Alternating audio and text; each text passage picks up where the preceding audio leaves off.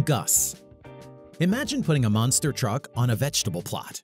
It sounds outlandish, but this is what the GUS, or Global Unmanned Spray System, looks like. It was designed by American engineers, and its formidable look presents a rational approach to business. The aerospace shuttle-style design is a safety precaution.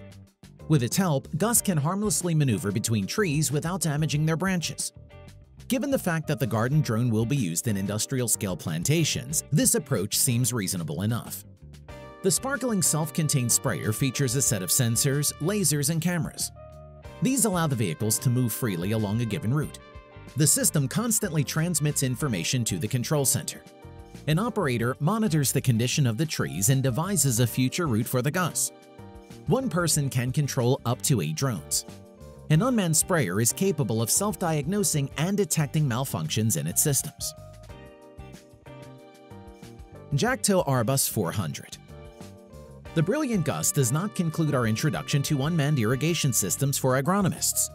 Jacto Arbus 400 JAV drone is a kind of analog of the previous device. In its third generation of development, this drone is capable of remote scanning of the field, and irrigation works along a given route. Arbus uses laser analysis to measure the size and growth of plants. Any deviations from the norm are instantly passed on to the operator. The irrigation model is of particular interest. It features a system with multiple valves, fans, and nebulizers that greatly improve the efficiency of liquid atomization. The drone tank holds 4,000 liters.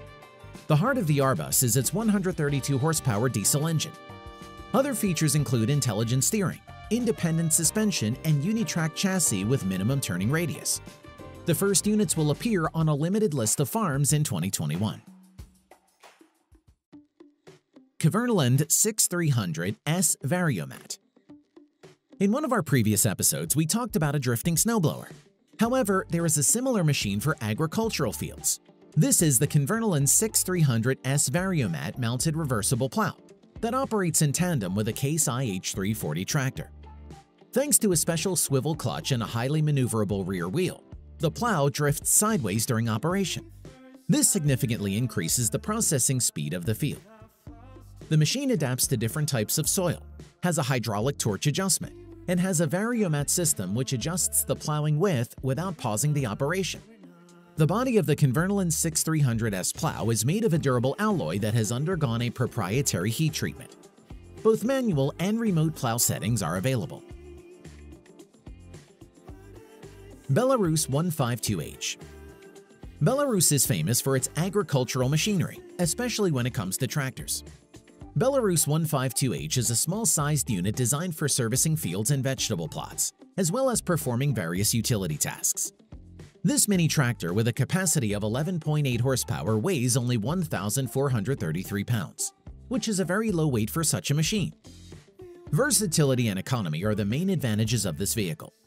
A tractor is not only suitable for tillage and cultivation of fields and plantations, but also can be used as a lawnmower, a tow car, or a snowblower.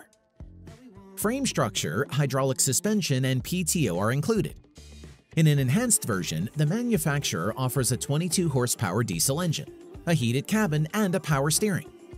Compatibility with a wide range of attachments turns a small tractor into a versatile soldier. Plows, cultivators, trailers, and a dozen other devices provide enhanced functionality for the vehicle. In addition to fieldworks, this tractor can easily cope with snow removal, waste disposal, and street cleaning. At the same time, its dimensions are ideal for maneuvering in narrow spaces. Fendt Xaver Our excursion into the world of compact agricultural developments does not end there. Fendt took care of this with the next generation of field robots. Their autonomous sowing drone was named Xaver and is even smaller than the Belarusian mini tractor. The three-wheeled vehicle weighs only 330 pounds and is slightly larger than a garden cart.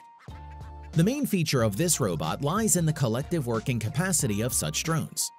A swarm of six Xaver drones can seed a 3-hectare field in one hour.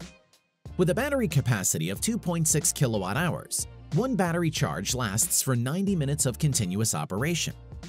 After discharging, the robot independently returns to the service station and replenishes energy reserves. The Fendt One drone control system is implemented in such a way that the operator can set up a 24-7 field service. It is important to note that the low weight of the unit eliminates damage to the soil. And in terms of efficiency, the Xaver is significantly ahead of manual labor. An electric drive in turn contributes to an environmentally friendly approach to field processing. Felco Mini X Wheel Have you heard of industrial excavator compactors? Such is the attachment module for the special equipment Felco Mini X Wheel. This device ensures stable soil in areas where construction or repair works are taking place. The main responsibility is assigned to a huge clutch unit, which resembles gears connected into one hole. This unit is compatible with most modern excavators including relatively small models.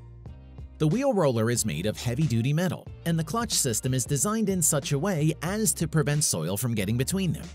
The Felco Mini X wheel module mount allows installation of the seal in any direction. In most cases, such units are used in hard-to-reach areas with unstable soils. Honda Work Vehicle Unmanned transport systems have enormous potential. Honda not only understands this, but is working to develop a versatile cargo drone.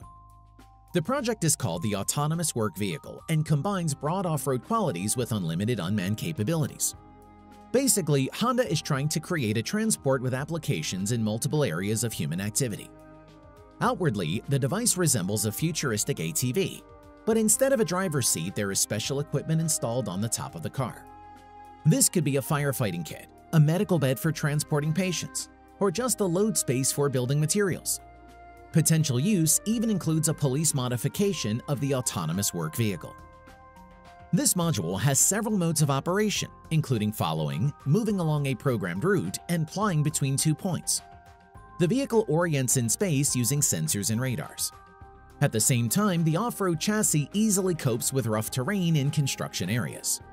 Since its launch, the machine has managed to prove its worth in firefighting areas, shooting grounds, and even in solar panel installation companies.